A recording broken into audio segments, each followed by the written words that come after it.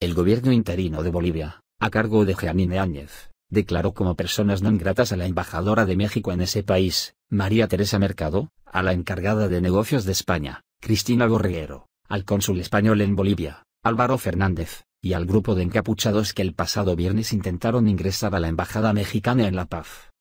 Con ese veredicto, Áñez emplazó a todos ellos a abandonar el país en las próximas 72 horas. Se ha lesionado gravemente la soberanía y dignidad del pueblo y del gobierno de Bolivia, declaró la presidenta interina en una breve conferencia de prensa. Áñez hizo alusión al incidente del pasado viernes, cuando diplomáticos españoles intentaron ingresar a la Embajada de México en Bolivia, acompañados de un grupo de encapuchados por cuestiones de seguridad.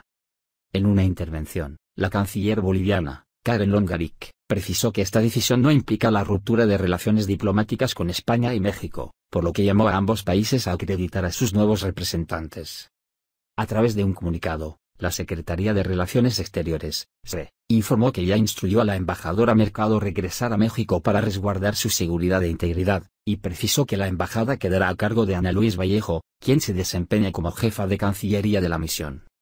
Asimismo, dada la trayectoria de Mercado, la reconsideró que su expulsión es una decisión de carácter político,